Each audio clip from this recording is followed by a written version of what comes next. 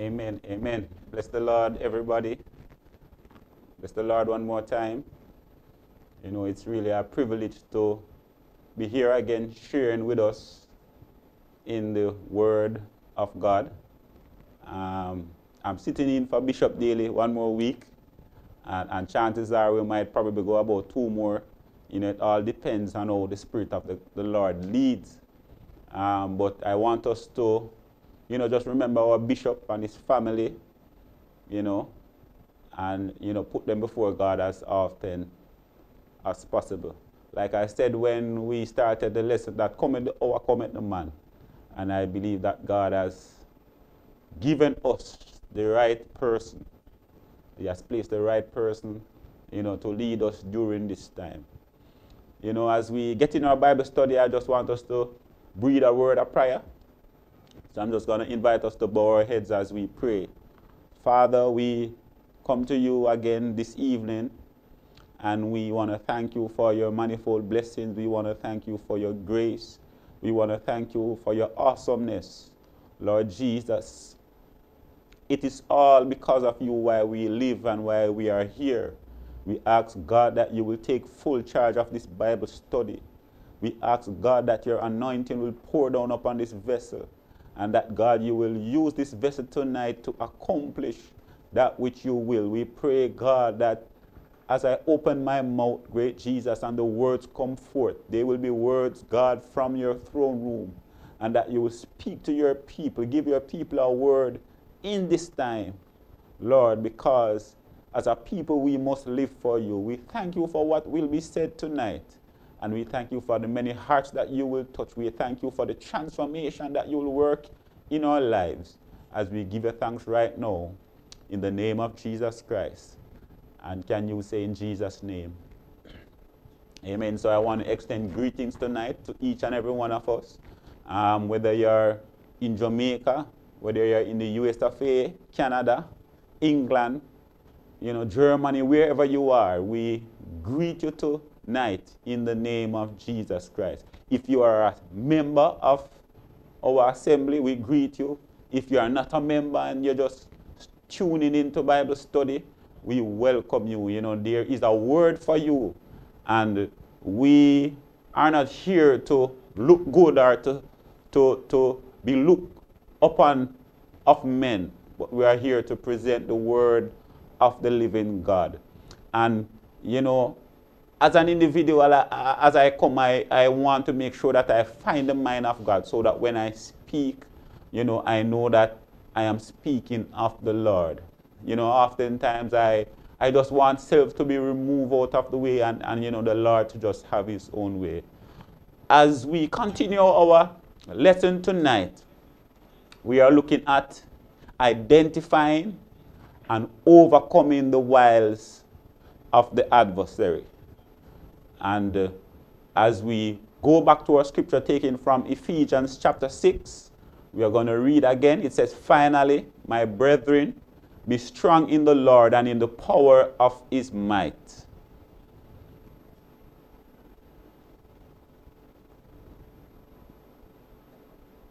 Put on the whole armor of God that he might be able to stand against the wiles of the devil. For we wrestle not against flesh and blood, but against principalities, against powers, against the rulers of the darkness of this world, against spiritual wickedness in high places. Wherefore, take unto you the whole armor of God, that ye might be able to withstand in the evil, evil day, and having done all, to stand. Amen. Amen. So we look, last week we spoke, you know, about knowing ourselves, and we look really at verse 12. Uh, we started looking at verse 12 because oftentimes, you know, as teachers, we, you know, we look at verse 12 and we talk about, you know, that the battle is a spiritual battle and that um, we wrestle not against flesh and blood, but against principalities and powers.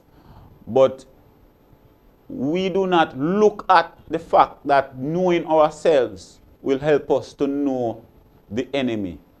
It's important, and as last week as we spoke, we pointed out some things so that we could understand who we are.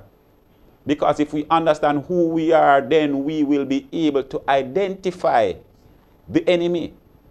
And if we are going to overcome this enemy in this time, the enemy is like a roaring lion seeking whom he may devour. And if we are going to overcome the enemy in this time, then we have got to know who we are. A lot of people in Christendom, they are not sure who they are. They are trying to identify with this world and they are trying to do the things of this world. They, they, they, in their heart, they are saying that God, I want you. Or by their mouth, they are saying that God, I want you. But their actions are saying something else because, you know, they are attached to the things of this world. And it's important that we know who we are, right? So in verse 11, the apostle said that we should put on the whole armor of God that we might be stand against the wiles of the devil. He continued in verse 12, right? And he gives us an insight into who the enemy is. I'm still doing some recap. We said last week that we needed to look at two main points, and one is who am I, and the second is who is the enemy. We some time ago quoted from an article, The Art of War. And we said that if you know the enemy and you know yourself, then you need not to worry about the outcome of the battle. And we said that the statement is true if God is on your side, because if God is on your side, then you will know that God is fighting on your behalf. We also said, on the other hand, that if you know neither the enemy nor yourself, you are going to lose in every battle. So it is therefore important that we know who we are. Not being able to identify the enemy means certain death. Not being able to identify the enemy means that you can be ambushed at any time. Not being able to identify the enemy means the enemy can easily infiltrate your camp and take you hostage, and you don't even know that the enemy was in your camp. So it's important for us, like I've been saying, that we know the enemy, but it's even more extremely important that we know ourselves. When you know yourselves, you know what you believe in. You know the standards that govern your life. When you know yourself, you know that there are certain things that you will not do. And that is how you are going to be able to identify the enemy. When you know yourself, you will know the enemy because the standards and the precepts and the statutes that you live by, the statutes that you live by, will say to you anything on the other side is the enemy. Last week we said that anything that is anti Jesus Christ, I know myself and I'm saying Jesus, and anything that is anti Jesus Christ is the enemy, right? I know myself and I'm a truthful person. I try to be a truthful person. Anything that is anti truth is the enemy. Anything that is anti righteousness is the enemy and anything that is anti peace. Jesus said, My peace I give to you. If you find in your life that you know there is no peace, you find it hard to agree with persons around you. Every person that you go around finds some fault. There is just no peace. As a child of God, we need to check ourselves. Jesus said, My peace I leave with you. Anything that is anti holiness. Follow peace with all men and holiness, without which no man shall see the Lord. Anything that is anti holiness is the enemy. Anything that is of fear and doubt is the enemy. And anything that is anti the word of God is the enemy. And you have got to first know yourself. If you know yourself, you will set these standards the standard of living by the word of God, the standard of being truthful, the standard of not living in fear and doubt, because God has not given us a spirit of fear, but of power and love and of a sound mind. Anything that is anti holiness, you, you know that you are just nothing to do with these things. And you know that that is on the other side of the line, and those are the enemy. I asked a question last week who are you? I hope that as we went through the week, that we give some thought to the question about who are you? Some people are still confused. Being a child of God, they are confused. They are not sure who they are. They are not comfortable with their complexion. They are not comfortable um, just being who God created them to be. The Bible says that we are beautifully and wonderfully made, but yet they are not comfortable. Persons don't know who they are in Christ, and they are trying to do the things of the world. They are trying to look like the people of this world. And as Christians, we cannot look like the world. We cannot be like the world. You have got to know who you are. And I said last week that if I should answer the question, the first thing that I would say is that I am a child of God. Uh, uh the, the, the number one thing is that I am a child of God. once you are filled with the baptism of the Holy Ghost, once you have repented of your sins, once you have been baptized in the name of Jesus Christ, you are a child of God. You are a son of God and you are a child of God first. You are a son of God first, irrespective of who you are and what it is that you have accomplished and what it is that is added to your name. You are a child of God first. In St. John 1 12 to 13, and we read the scripture last week, and it tells us of who we are. It says, But as many that has received him, to them gave he power to become the sons of God, even to them that believe on his name, which are which were born not of blood, nor of the will of the flesh, nor of the will of man, but of God. And then we look at Galatians 4 7. Wherefore, thou art no more a servant, but a son. And if a son, then you are an hearer, and hearer of God through Christ. And as a son and hearer of God, you inherit all the blessings of God through Jesus Christ, which includes earthly and heavenly possession being a son of God, you have the status of being next in line. Being a son, you are right there with Jesus Christ. Because Jesus has shed his blood and he has now brought you in the family of God. You are now sitting in heavenly places and you are an heir of God. I hope we remember that the term here means that, you know, we have an inheritance of God that can never perish. If we remember the story about the prodigal son, the prodigal son was an heir to the father, and the father gave the prodigal son his portion, and he went and he squandered it. So, and here is a person who will receive an inheritance after the person have passed or after his father has passed.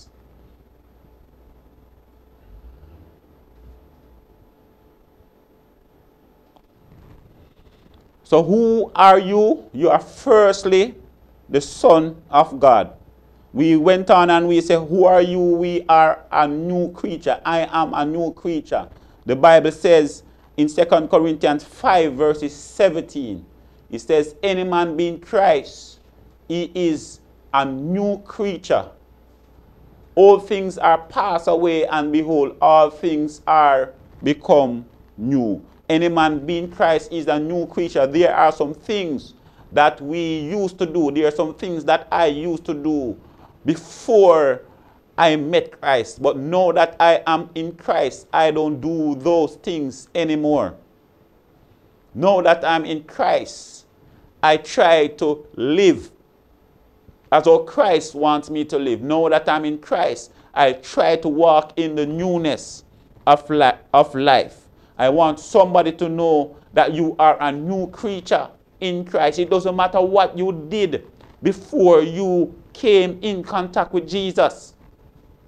Know that you are in contact with Jesus. You are a new creature. Whole things are passed away, and behold, all things are become new.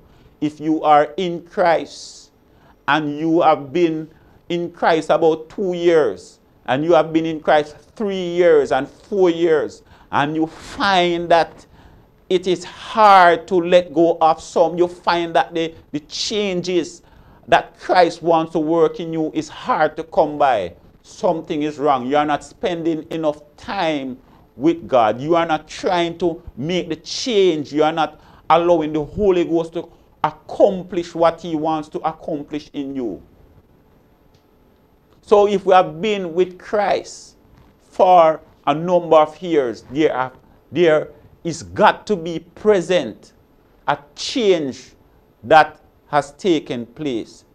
A, a, a, change of how you do things, a change of how you speak, a change of your company, a change in your entire lifestyle. So if you find that you are in Christ and you are going back to the things that you used to do, there is a problem. And I'm not going to sit here and tell you that there is no problem. I want you to identify that there's a problem from now. My concern is about your soul. I want when Jesus Christ put in his appearance and the trump of God's sound that you will change in the moment, in the twinkling of an eye, and that you will be caught up to meet him. I am concerned about the spiritual man. I am concerned about your soul. And if you find that you are in a place where it's hard to change and hard to let go, you need to spend a little more time with God.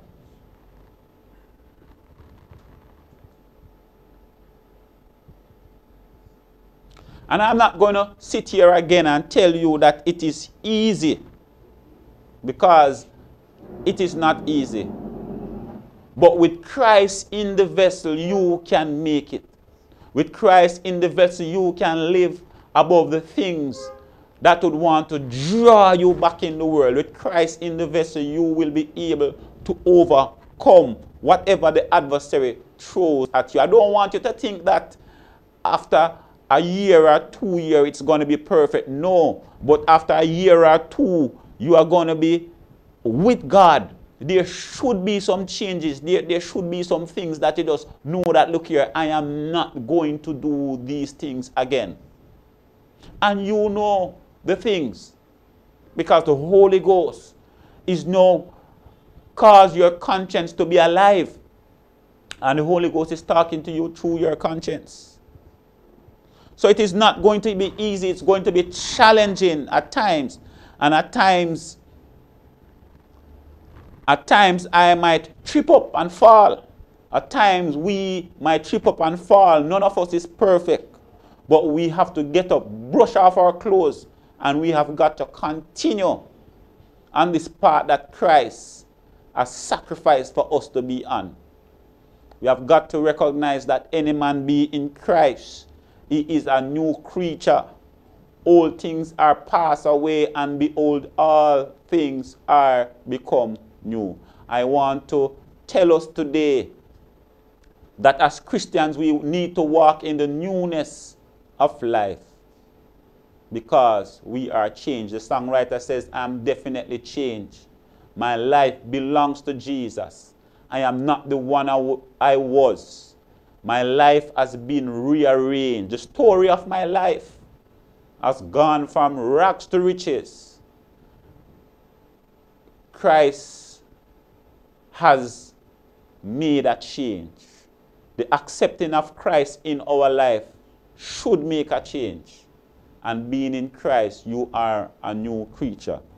As we continue about who I am, I want us to turn in our Bibles to St. John chapter 15 and verses 15. And we will spend some time looking at who we are and probably even more time than looking at who the adversary is. Why? Because if we are able to identify who we are, then we will easily be able to identify the enemy. Right? So knowing the things that we stand for, we will know the enemy, know what he's up to. Because these are the standard that we live by. So if we turn to St. John 15, 15, he said, henceforth, who am I? Still talking about who we are as the children of God, as children of God. Who are we? I am a friend of God. Henceforth, Jesus was talking to the disciples, and he said, Henceforth, I call you not servants, for the servant knoweth not what the Lord doeth. But I have called you friends, for all things that I have heard of my Father, I have made known unto you. I have called you friends, because all things that have, Jesus said, all things that I've heard of my Father, I have made known unto you. So I want you to know today that you are no longer a servant. You are no longer a servant to sin.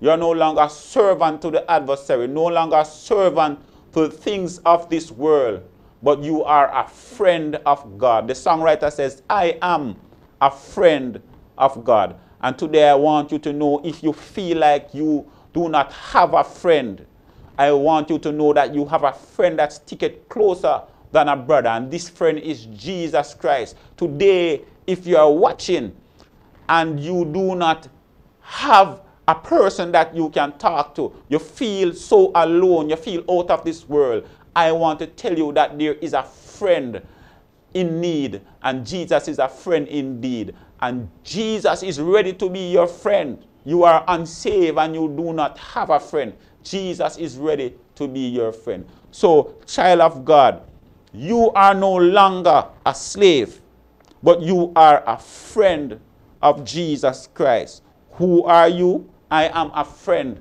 of Jesus Christ. And these are important to us because in time, there are times in our life when we will feel lonely and feel like we just don't have anybody. Hallelujah. And there might just be somebody that is streaming that just feel this way. Thank you, Holy Ghost. I want you to know that Jesus is your friend. Let us turn again in our Bibles to the book of Ephesians 1, verses 3. Who are you? Who am I? I am blessed, hallelujah to God, with all or with every spiritual blessing in heavenly places. Blessed be the God and Father for our Lord Jesus Christ, who had blessed us with all, hallelujah, spiritual blessings in heavenly places in Christ. Though you are on earth, you are in heavenly places.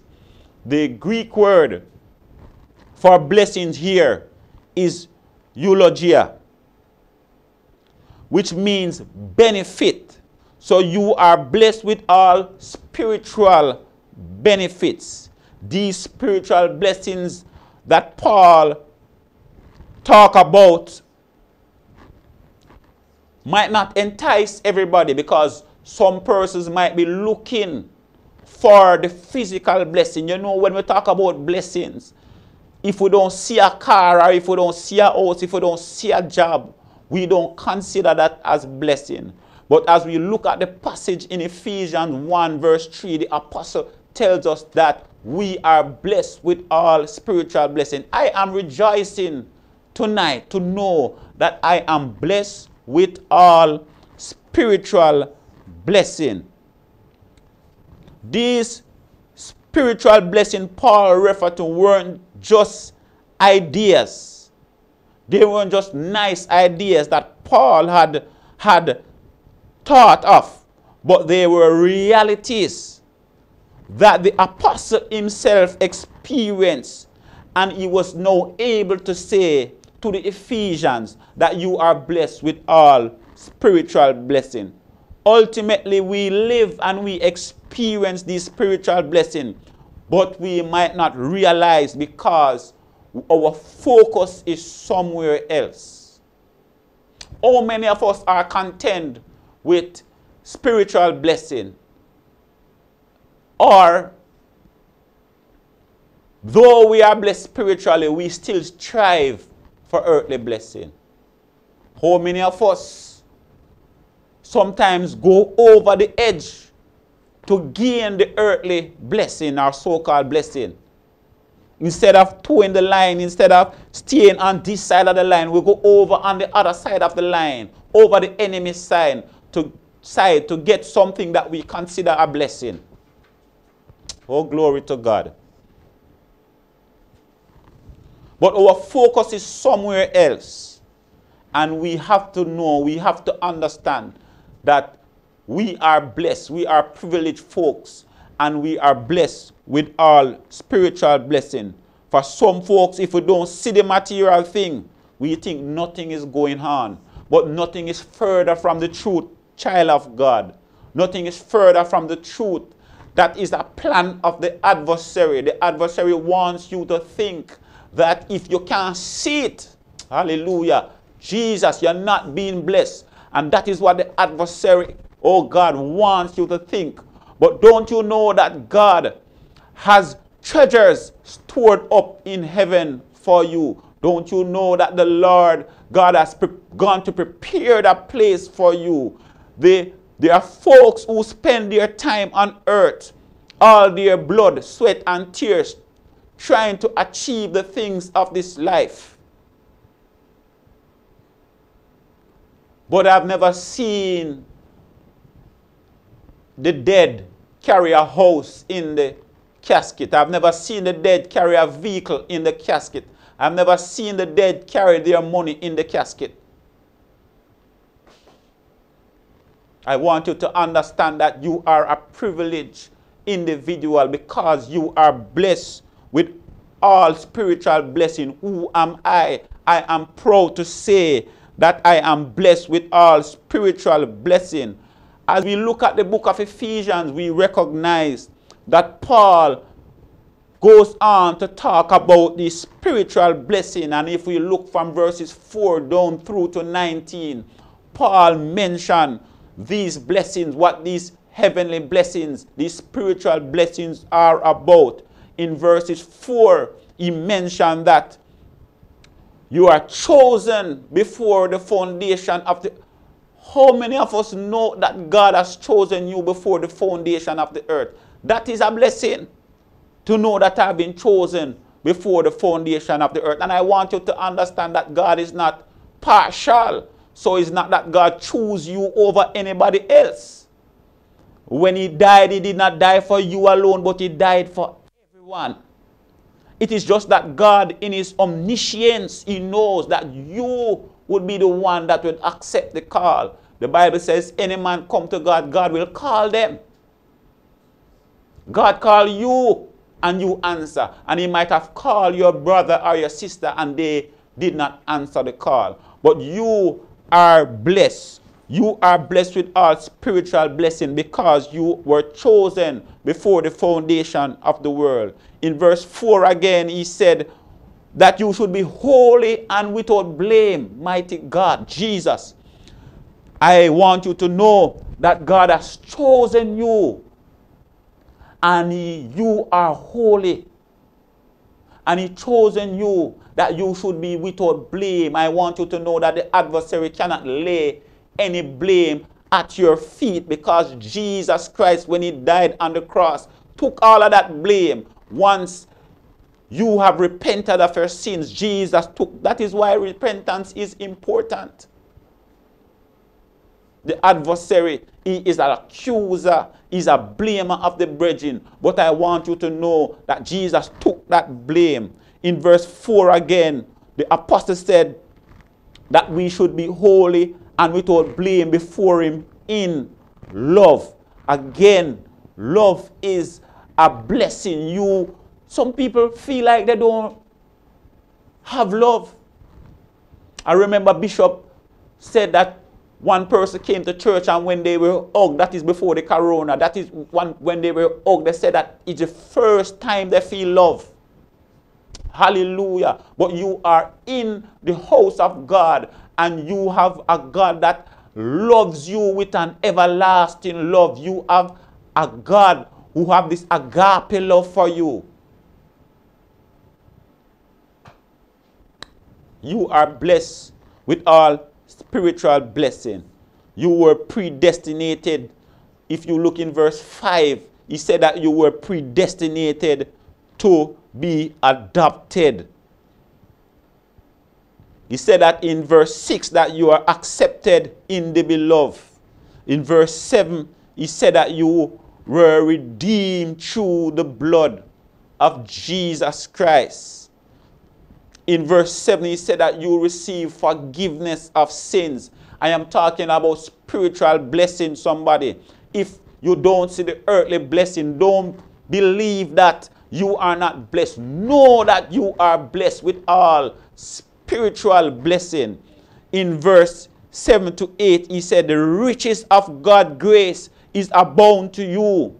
Grace means unmerited favor Listen, you and I could not do anything to appease the wrath of God. But you have unmerited favor. The, the, the grace of God surrounds you in abundance. In Christ, there is abundance. There is grace without measure. And as you try to live the life, if you fall down, there is enough grace to cover all your sins. In verse 9, he said, Make known to you the mystery of his will. That is a spiritual blessing. In verse 11, he said, Obtained, mm, Jesus, an eternal inheritance. Jesus. In verse 13, he said that you have heard the word of truth. God's truth, God's word is truth, and it is light in the darkness. We are not without counsel. We are not left in the dark. We have heard the good news and discover a new path to life. And this is because we accepted Jesus Christ. In verse 13, also, he said that you're sealed, mighty God, with the Holy Ghost of Jesus of promise. Hallelujah. You are sealed with the Holy Ghost of promise. I want you to know somebody that you are blessed because you are not everybody can say that they are sealed with the Holy Ghost. The Bible tells the story of the rich man and Lazarus, and, and Bishop spoke about it. And the rich man had everything, but he was blessed with all spiritual blessing. Hallelujah. He was blessed with all spiritual blessing. And what happened? The rich man died. And I told you earlier on that the rich man could not take any of his riches. But the poor man died. And the poor man received his inheritance. The poor man received the promises of God. This Holy Ghost have sealed you it was prophesied about the prophet. And the manifestation is now. We have experienced, we are the generation that have experienced the Holy Spirit. And the promise is unto us. and we have experienced this promise, I want you to know that you are sealed with the spirit of promise. By this seal, the Lord know them that are his. This Holy Ghost that dwells within our being, the Lord knows that we are his. In verse 18, he says, You know the hope of your calling.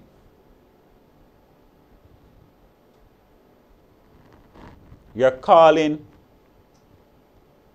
is that you should live for God.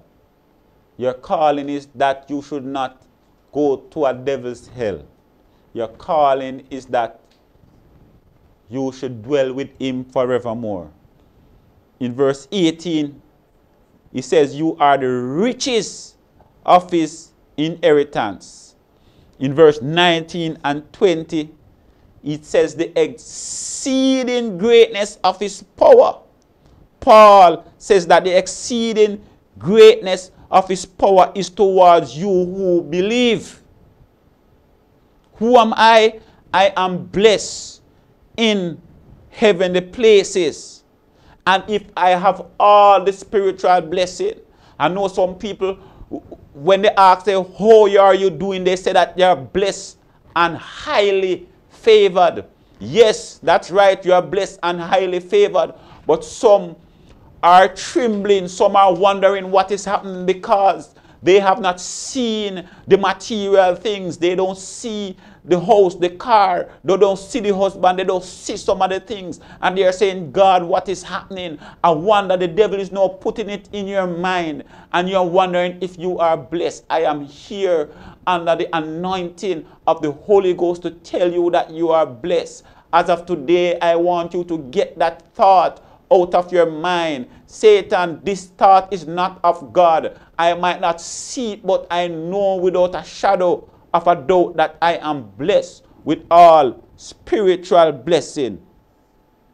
Child of God, don't look at what Tom Joan has. Don't look at what Mary Sue has.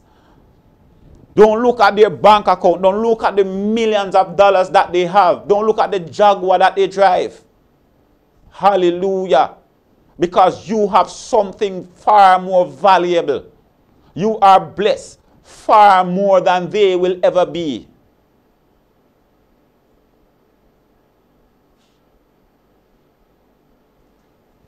Hallelujah.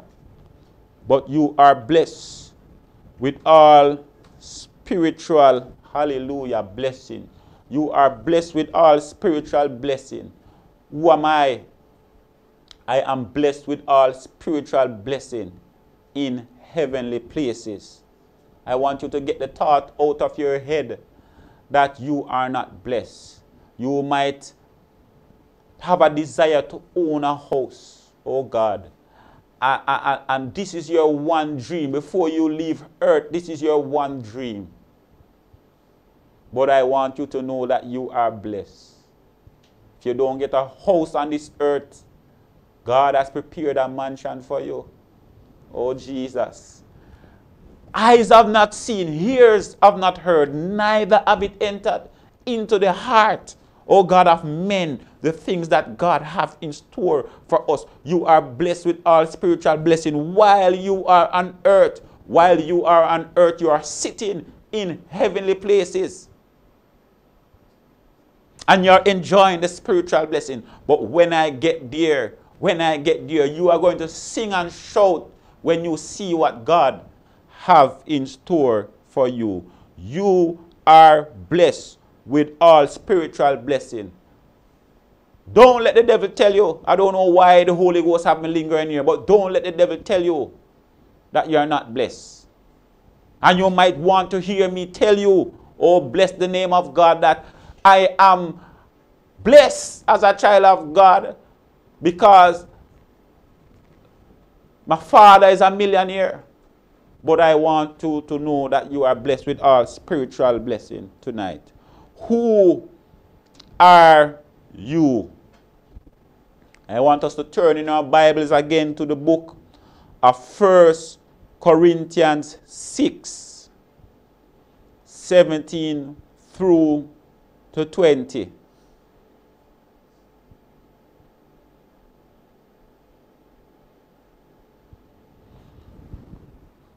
Who are you?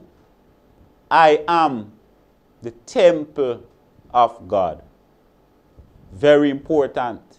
When you know that you are the temple of God, and it comes right back down to what I started out by saying last week. When you know that you are the temple of God, you are going to draw a line. I am the temple of God. And because I am the temple of God, I will not allow anything to come and defile this temple. Let us look at the scripture. But he that is joined unto the Lord is one spirit. So now that we have the Holy Ghost, and the Holy Ghost has now come into our spirit, our spirit and the Holy Ghost is now one spirit. We are joined unto the Lord. Let us look at the next verse. So now that we are joined unto the Lord, the, the, the, the apostle is now saying, flee fornication. Every sin that a man doeth is without the body. But he that committed fornication sinneth against his own body. What? Know ye not that your body is the temple of the Holy Ghost, which is in you, which he have of God, and he are not your own? For ye are bought with a price. Therefore, glorify God in your body and in your spirit, which are God's. Who am I?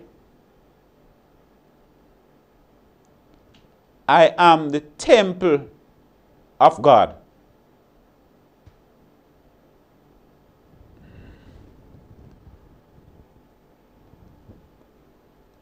being filled with the Holy Ghost, being baptized in the name of Jesus Christ, being repented of our sins, and trying our best to live a holy life, we have become a child of God.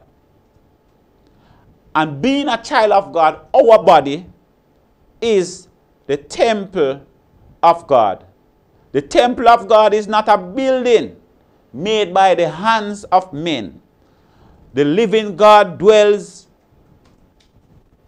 within the born again believer. We learn in 1 Corinthians 6 19 that a Christian body is the temple of the Holy Spirit. We are not just a house, but we are a temple.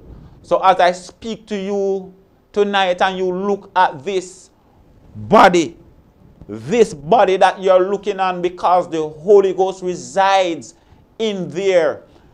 This body is the temple of God. I want you to understand that God is, interested in this temple more than 10,000 uh, 10,000 of auditorium that look so elegant and so so nice and well put together with good colors. God is interested in this temple, more than a million temple that is made with the hands of men. So we are not just a spiritual house, but we are a spiritual temple. 1 Peter 2 verses 5. You also, as living stones, are built up a spiritual house and an holy priesthood to offer up spiritual sacrifice acceptable to God by Jesus Christ. So you are a spiritual host, a holy priesthood to offer up spiritual sacrifice to God. A temple is where people go to worship being that we are the temple of God, being that this body is the temple of God, it must, hallelujah, be a place of worship. It must be a place where worship springs from. It must be a place uh, that God is pleasing to inhabit because worship come from this temple. You are the temple of God. You are sacred. And God is looking at that temple even more than he does the temple that is built by the hand of men. Like the church of Corinth, many Christians do not know today that God considers them to be holy and sacred. Are they? No. But are too cozy with enjoying the things of the world rather than separating themselves from the ways of the world, walking in the new man, the ways of the new man. They choose to participate in worldly activities that God has called sin. But I heard the apostle said in 1 John 2 15 to 17. He said, Love not the world, neither the things of the world. If any man love the world, the love of the Father is not in him. For all that is in the world is the lust of the flesh, and the lust of the eyes, and the pride of life. This is not of the Father, but of the world. Paul had to remind the folks at Corinth that their body was the temple of God. Tonight, I want to use this opportunity, Holy Ghost, to remind somebody, Jesus, that your body is the temple of the living God. You have received the Holy Ghost, but your conscience is somehow smeared. Your conscience is not alive anymore because of the things that you have been practicing. I'm not accusing anybody tonight, but I'm speaking as I feel deep in my spirit. I want you to understand tonight, somebody, that your body is the temple of the Holy Ghost. Paul reminded the folks at Corinth that their body was the temple of God, the actual dwelling place of the Holy Spirit. As a result, you should not be living the same kind of life that non believers are living. Being the temple of God, I cannot be living the life that non believers are living. I cannot be doing the things that non believers, hallelujah to God, are doing. I cannot be doing the things, hallelujah, to defile the temple of God. If we turn in our Bibles to the book of Second Corinthians 6, 16 through to 18, we are the temple of the living God. It's not a joke thing. We are the temple of the living God. And what agreement? And what agreement has the temple of God with idols? For you are the temple of the living God. As God has said, I will dwell in them and walk among them. I will be their God, and they shall be my people. Wherefore, come out from among them, and be ye separate, saith the Lord, and touch not the unclean things, and I will receive you, and I will be a father unto you, and he shall be a son and daughters, saith the Lord Almighty. What agreement has the temple of God with idols? I want you to know today, tonight, that you are the temple of God. And being the temple of God, you cannot have any agreement with idols. Being the temple of God, you cannot have any agreement with Baal. You have got to understand that if God is God, you have got to serve God. And if God is God and you want to serve Him, that you can serve Him you can overcome everything that is placed before you and serve the Lord. You cannot have an agreement with Baal. You cannot have an agreement with idol. He said, Come out from among them and be ye separate. When Jesus was crucified, uh, he purchased each and every believer with his blood. Jesus Christ has the title deed to your body.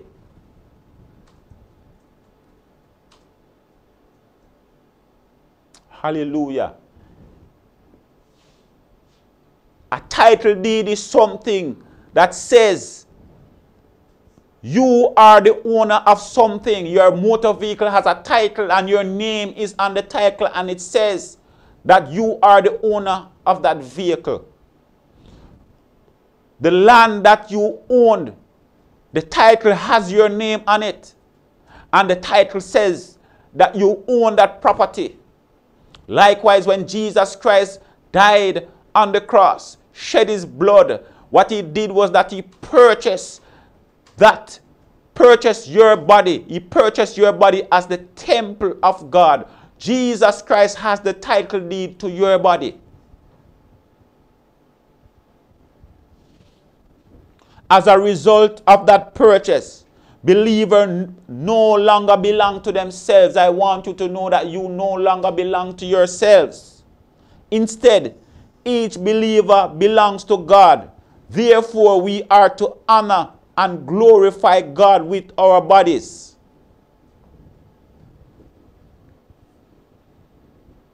Hear me, child of God. You are the temple of God. Who am I? You can answer, I am the temple of God. How is it that we are the temple of God? And we like to hear when the unsaved men whisper things in our ears.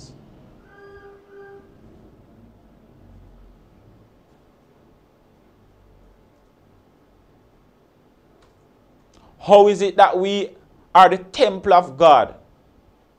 Yes, I know that as ladies, you, want to hear that you are beautiful and you want to hear that you look good. But you like to hear, when you put on your clothes, you like to hear the unsaved men calling to you. You are not your own. You are purchased by Jesus Christ. As beautiful as some of these physical temples are, which were made by the, hand, the hands of men, God sees you far more beautiful and glorious. God sees you far more beautiful than any physical structure built by men. This beauty comes from the glory of the living God that dwells within you. What agreement had the temple of God with idols. For ye are the temple of the living God. Who am I? I am the temple of God. How are you honoring your body? How are you honoring the temple of God? The temple doesn't belong to you. How are you honoring the temple? Does your lifestyle glorify God? If you are not eating right. What, deacon? I thought that everything is eatable. Once you pray your prayer over it and bless it, you can eat it. God has given us wisdom to know that if we eat too much fatty food, it is going to be a problem. God has given us wisdom to know that if we drink too much sugar, it's going to be a problem. We're talking about the temple of God. What are you doing to honor the temple of God? What are you doing to give this temple of God longevity so that you can minister the word, so that God can use you to minister the word? If you sit in your house every day, I have news for you because there are some folks and some young folks, they sit around the computer every day and they do not go on the outside and walk for 15 minutes. Yes, deacon. I am talking about the temple of the Lord. The Bible says that bodily exercise profit little, but some folks are not willing to get the profit of that little. I want to tell you, child of God, that when you are physically fit, you'll find yourself being able to get up in the morning and pray. Hallelujah. If you're not doing the exercise, Holy Ghost, help me here. If you're not doing the exercise, you are losing out.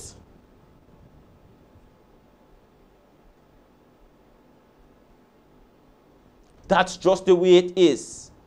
Bodily exercise, prof. You have to understand that this is the temple of the living God, and we should do whatever it takes to give it longevity. So if you're not drinking the right thing, drinking too many sugary stuff, you're going to find out that little bit from this is diabetes. Lord help me, I love the sweet things. Talking to myself too, I love the sweet things. I try not to drink juice in the day because in the night I know that I like my sugar cane. And I even know I'm trying to cut down off eating so much of the sugar cane. Holy Ghost help me. If you are not wearing the right thing, you are exposing the temple of God. Glory to God. This is the temple. I want us to think of this, not of, as ours, but as God. And if we carry ourselves a particular way and expose ourselves, oh, bless the name of God, you are going to find out that you are exposing the temple of God. We must also make sure that we keep this body away from things that will destroy it. Keep our bodies away from things that will harm and defile it, like fights. How is it that we are Christian and this body is the temple of God and we get in fight knowing that we could lose our lives? Holy Ghost. Yes, it is still the Word of God in a different way. How is it that as Christians, we send around so much pictures with, with, with headless people, with people being killed?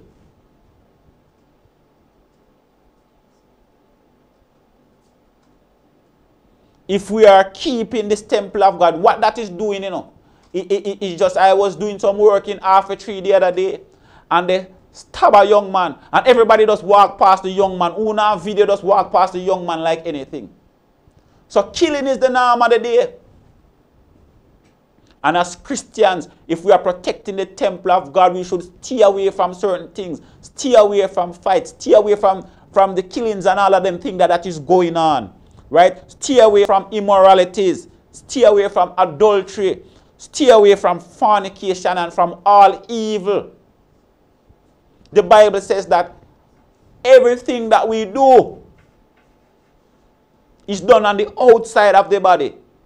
But when we commit fornication that defile the body itself, Paul said in 1 Corinthians 3, verses 17, he says that if any man destroy the temple of God, him will God destroy.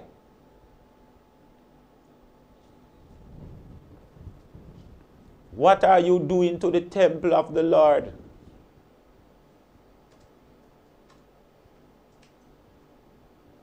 How are you uplifting the temple of the Lord? What are you putting in the temple of the Lord?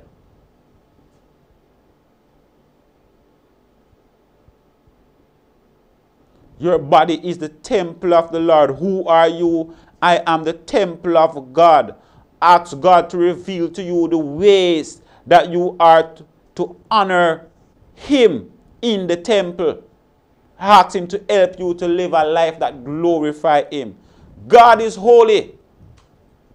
It means that the temple which He dwells in must be holy.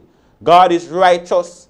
It means that the temple which He dwells in must be righteous. Hallelujah glorify his name. Who are you? I am the temple of the Lord. When you know that you are the temple of the Lord, you will make sure.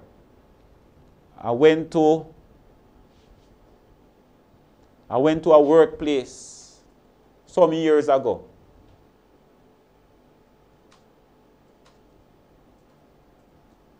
And to how I see the young man spot the church sister on her bum, I know that that church sister had no respect for the temple of God. Your body is the temple of the Lord. If any man destroy the, the temple of God, him will God destroy. Who are you? I have become the righteousness of Christ. Let us look at 2 Corinthians 5 20 to 21. Who are you? I have become the righteousness of God in Christ. Now then, we are ambassadors for Christ, as though God did beseech you by us. We pray you in Christ's stead, be ye reconciled to God. For he had made him to be sin for us, who knew no sin, that we might be made the righteousness of God. I am going to read for us from the English Standard Version. Therefore, we are ambassadors for Christ. God making his appeal through us. We implore you on the behalf of Christ, be reconciled to God. For your sake, he made him to be sin who knew no sin, so that in him we might become the righteousness of God. So Christ is the only entirely righteous one. At Calvary, Christ took upon himself and took the punishment we deserve, namely death and separation from God. Thus, by a marvelous work, by a marvelous exchange, he made it possible for us to receive his righteousness and thereby be reconciled to God. In 2 Corinthians 5 18 to 21, we read where Paul tells us that God made it possible that we be brought back in fellowship with him through the death of Jesus Christ on the cross for our sins. Sin broke the friendship, it broke the fellowship that man had with God. But Jesus fixed that on the cross. Now, when we accept the Lord as our personal Savior and we fulfill the plan of salvation, we are reconciled unto God. The reason God sent Jesus Christ to die on the cross was so that Christians could become righteous as God is righteous. We have got to understand that Jesus was the manifestation of the Father. So Jesus bore the righteousness of God. To wit that God was in Christ reconciling the world unto himself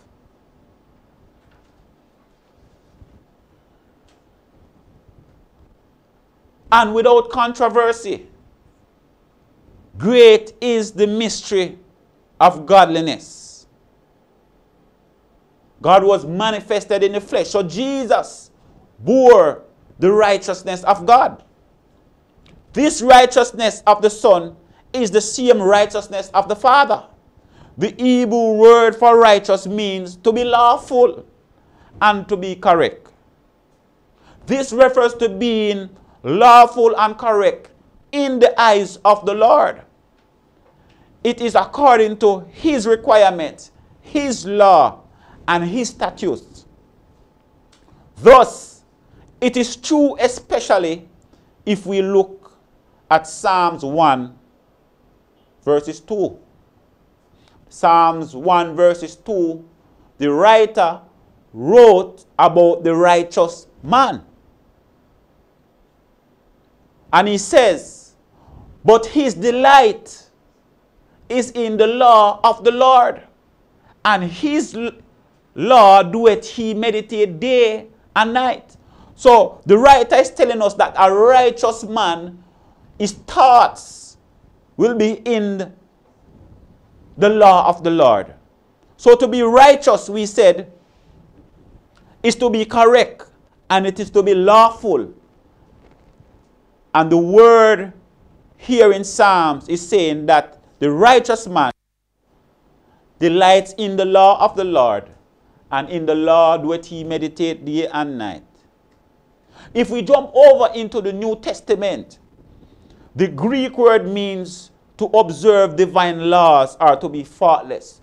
To be faultless, to be perfectly righteous is an impossible task for humans.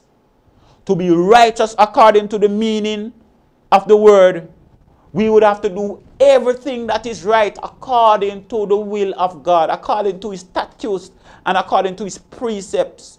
For us to be righteous as God wants us to be righteous, we would have to be doing everything as God would have it. This, however, is not possible. Hence, this righteousness that we have is not anything else than the, that which God has wrought in us through Jesus Christ. Our righteousness cannot stand before the Lord. If we look at Isaiah 64, verses 6, we will recognize that if it was our righteousness only, then it would be over for us. If it was because of our righteousness only, then we would have no lot and part with God. We could not stand before God. But the righteousness that we are talking about is the righteousness of Christ. And just to show us that even when we are at our best, the Bible says in Isaiah 64, verses 6, if, but we are all as an unclean thing, and all our righteousness are as filthy rags, and we all do fade as leaf, and our iniquities like the wind, have taken us away. So if it was based on our righteousness alone, then we would have no lot and part with God. Our righteousness alone could not do it.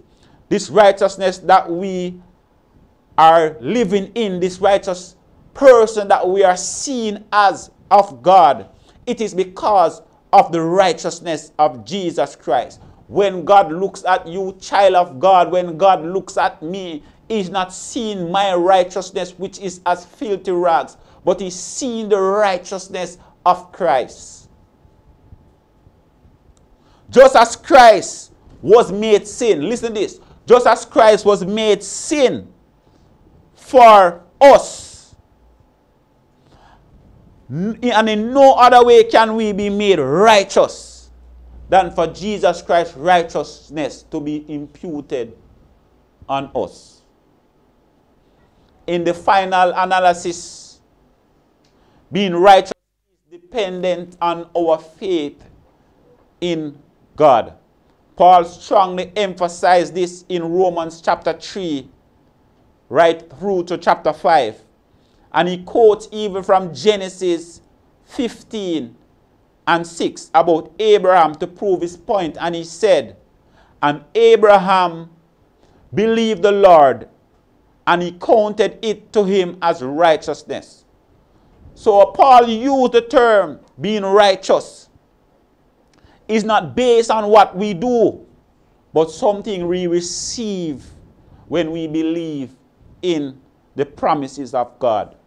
Through faith in Jesus, we receive forgiveness of sins and we are acceptable unto God. Through faith, we accept this imputation of the righteousness of God in our lives. It, is, it therefore does not matter what we have done. Once we have repented, and I want to say this once we have repented of your sins, God sees you through the righteousness Christ has imputed on you. Sometimes it takes very long for us to forgive ourselves. than the time Christ take to forgive us. Sometimes we are very hard on ourselves. And immediately as we said, Lord, forgive us, He forgives us and He sees us as righteousness.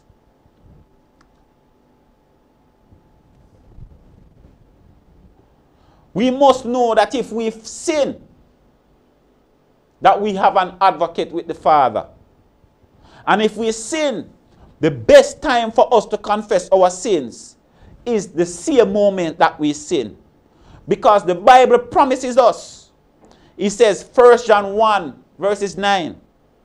It says, if we confess our sins, He is faithful and just to forgive us of our sins and to cleanse us from all unrighteousness. So the passage is saying that if we sin, we become unrighteous. Or it's looked upon as unrighteousness. Especially when a person does a thing habitually. If we look at the meaning of the word, when somebody does a sinning act habitually, it is considered as unrighteousness. But when your heart is towards God, if you trip and you say, Lord, forgive me, God sees you as righteous. Who are you? I have become the righteousness of God in Christ. So being the righteousness of God in Christ means that the laws and the statutes God has be, of God has become my standard. Being the righteousness of God, it means that the law, the statutes, and the precepts of God has become my standard. So though it is not of works, lest any man should boast, the standard that governs my life is of God. If you don't have standard, somebody, you don't have guidelines that govern your life. If you don't have guideline that governs your life, you will accept anything. It therefore means that we must have standards and we must have guidelines to govern our lives. If we are going to identify and overcome the enemy, this line that I have drawn, this line that you have drawn, this line that we have come together and draw must be based upon the principles and the statutes of the Lord. If you do this, I guarantee that you will be able to easily identify the enemy. Who am I? I have become the righteousness of God. Who am I? And we are going to close on this tonight. Next week, when we return, we will just look especially at who the enemy is and who this enemy is that we are up against. You will be surprised to find out how the enemy moves. You will be surprised to find out some of the things that he does. And we want to look a little bit at the enemy. But we spend almost two weeks looking at who we are because if we know who we are, then we can easily identify that this thing is of the enemy. Who are you? I am an ambassador of God. I am an I'm ambassador of God. Again, if we go back to 2 Corinthians 5, verses 20, and I did say, I think 2 Corinthians 6 is 2 Corinthians 5. If we go back to 2 Corinthians 5, verse 20, Paul said that we are ambassadors of God. Now then, and I make sure that I read it from the English Standard Version. Now then, we are ambassadors for Christ, as though God did beseech you by us. We pray you in Christ's stead, be ye reconciled to God. In the letter to Corinth, Paul discusses the ministry of reconciliation. If you go down to about verse 5 and 17, you'll see where Paul talks about that God was in Christ reconciling the world unto himself, not imputing their trespasses upon them, but has given them the ministry of reconciliation. So, Paul, in talking about the ministry of reconciliation, used the term ambassadors. Very important. Ambassadors for Christ. All this is from God who reconciled us to himself through Christ and gave us the ministry of reconciliation. For God was in Christ reconciling the world unto himself. Right? And we know the scripture. Generally speaking, an ambassador is a respected official. So I am an ambassador of Christ. He is a respected official as a representative of the nation. So, in other words, the ambassador is a respected individual in his country.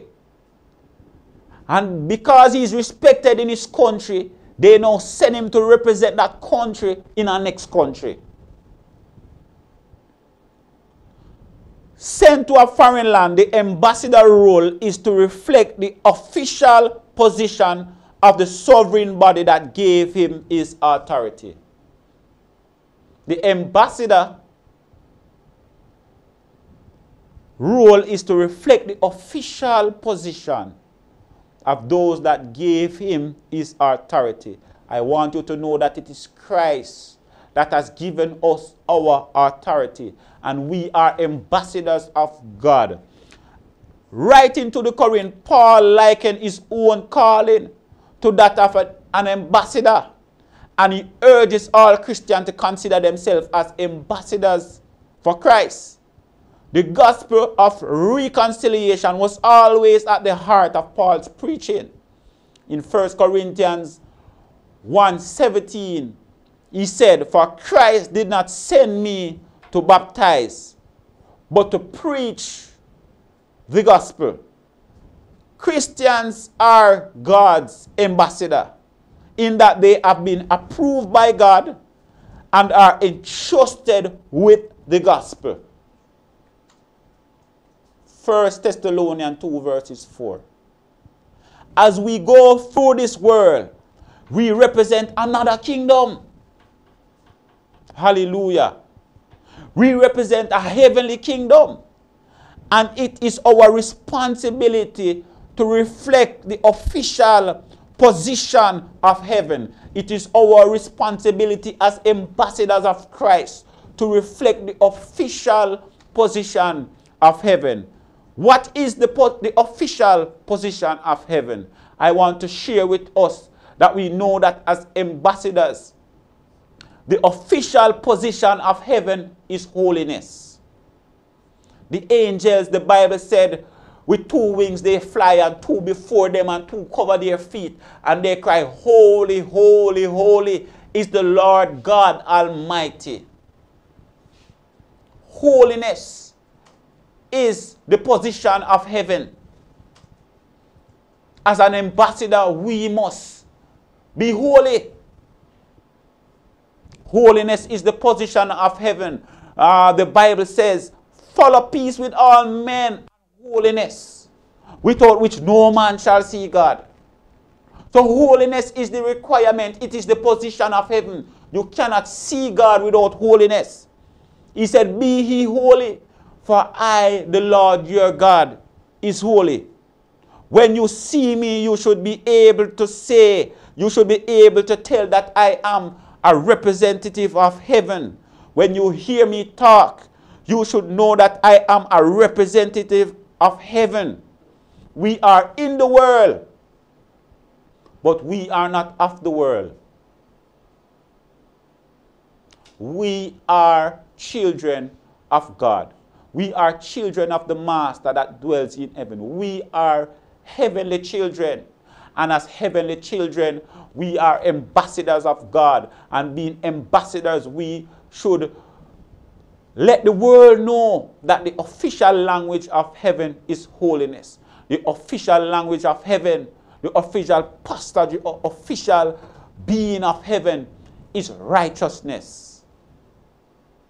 When you talk about God, you must talk about holiness. When you talk about God, you must talk about righteousness. When you talk about God, you must talk about love. When we, as ambassadors in this world, people must know that we are love. People must know that we are righteous. People must know that we are holy. God's ambassadors are empowered by the Holy Spirit. We must take the message of our King to the ends of the earth and implore men and women everywhere to serve God. I want us to know that if we don't say anything, my neighbor must know that I am a child of God. My neighbor must know that I am an ambassador of heaven. My language, when I speak, my, my, my language, my tone, my everything should give me away. And they would say, No, this is an ambassador of heaven. When they took Jesus and, and Peter spoke, they said, Even his very speech, give him away. You are an ambassador. The things that you do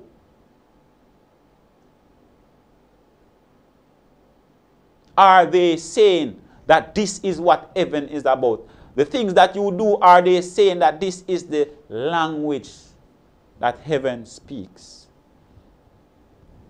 Who are you tonight? I am a child of God. I am an ambassador of heaven.